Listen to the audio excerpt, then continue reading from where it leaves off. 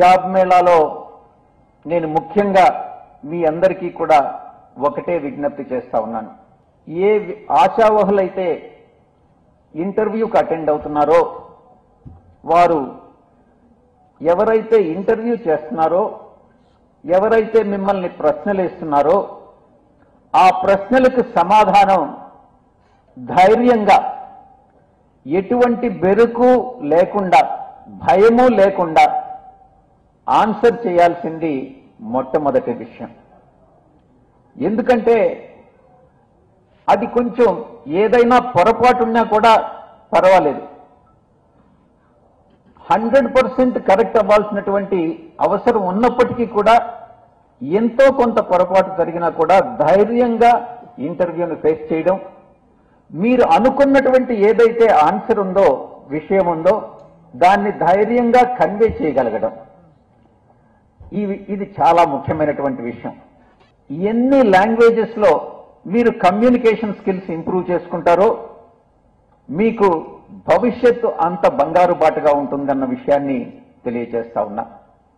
తెలుగు భాష ఇంగ్లీష్ భాష హిందీ భాష ఈ మూడు కూడా ఇక్కడ మన రాష్ట్రంలో రాణించాలన్నా దేశంలో రాణించాలన్నా అంతర్జాతీయంగా మీరు రాణించాలన్నా కూడా ఈ మూడు భాషలు చాలా ముఖ్యం. ఈ యొక్క job మేళాకి UG PG DIT MBA BTech విద్యార్థులకి ఇది ఒక సువర్ణావకాశం.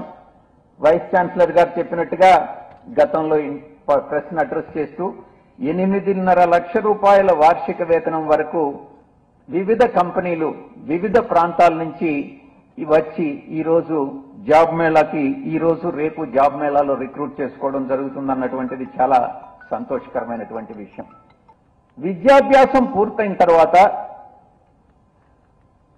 జాబ్స్ అన్నటువంటివి చాలా ముఖ్యం. మనం ఖాళీగా ఉండకూడదు. ఏ అవసరం లేకుండా ఎంత ధనవంతుడైనా కూడా విద్యాభ్యాసం పూర్తయిన తర్వాత తన కాలం సమయం వృధా చేయకుండా వ్యాపార రంగంలో కానీ సెల్ఫ్ ఎంప్లాయ్మెంట్ అయినా కానీ లేకుంటే ఎంప్లాయ్మెంట్లో అయినా కానీ ఎక్కడో ఏదో ఒక రంగంలో రాణించేటటువంటి ప్రయత్నం చేయాల్సింది ప్రతి ఒక్కరు కూడా. అప్పుడే జీవితానికి ఒక ఒక పరమార్థం ఉంటుంది. అర్థం పరమార్థం ఉంటుంది. అదేవిధంగా నాలుగు ప్రదేశాల్లో జాబ్ మేళా నిర్వహించాం వైఎస్ఆర్ కాంగ్రెస్ పార్టీ తరఫున. ఈ సంవత్సరంలో మరొక నిర్ణయం తీసుకోవడం జరిగింది.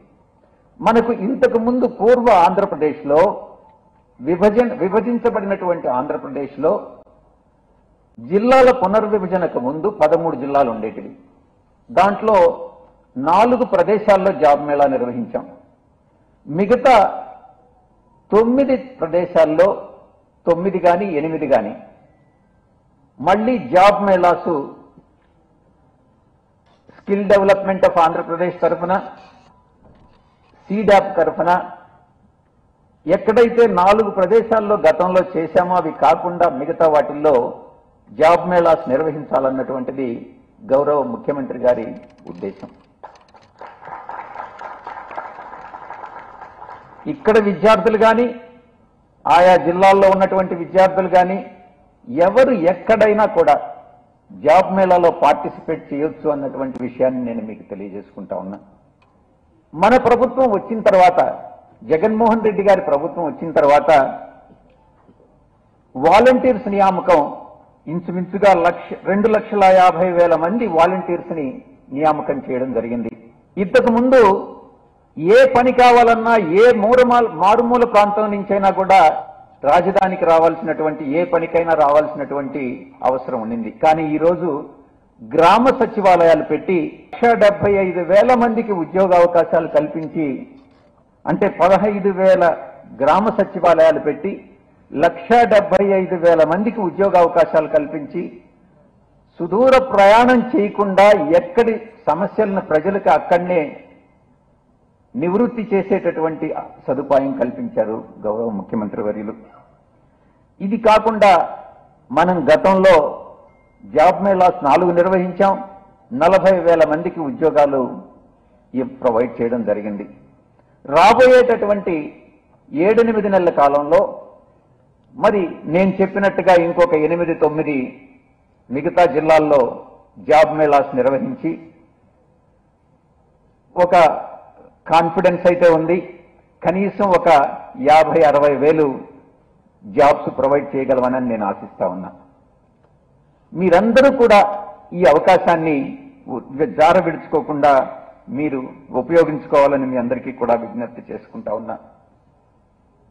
ఈ జాబ్ మేళాలో ఈరోజు రేపు జరిగేటటువంటి ఈ జాబ్ మేళాలో నూరుకు పైగా సంస్థలు రావడం ఇంచుమించుగా పదివేల మందికి ఉద్యోగావకాశాలు కలిగి కలిగించేటటువంటి అవకాశం ఉందన్నటువంటి విషయాన్ని ఉపకులపతి గారు చెప్పడం జరిగింది. సంతోషకరమైనటువంటి విషయం. చెన్నైకి చెందినటువంటి citizen for change international organisation దీనికి ఆర్గనైజ్ చేయడం పూర్తి సహాయ సహకారాలు అందించడం చాలా సంతోషం. నేను చెప్పినటువంటి క్వాలిఫికేషన్స్తో automobile manufacturing mobile manufacturing electronic electricals retail industries banking SBFC telecom insurance medical pharma రంగాల నుంచి ఈ నూరు కంపెనీలు రావడం నిజంగా చాలా చాలా సంతోషకరమైనటువంటి విషయం. ఈ ఆచార్య నాగార్జున యూనివర్సిటీలో రెండు కొన్ని ఇంక్యుబేషన్ సెంటర్స్ ఆల్రెడీ ఉన్నాయి. కొత్తగా రెండు పెట్టామన్నటువంటి విషయం తెలియజేశారు.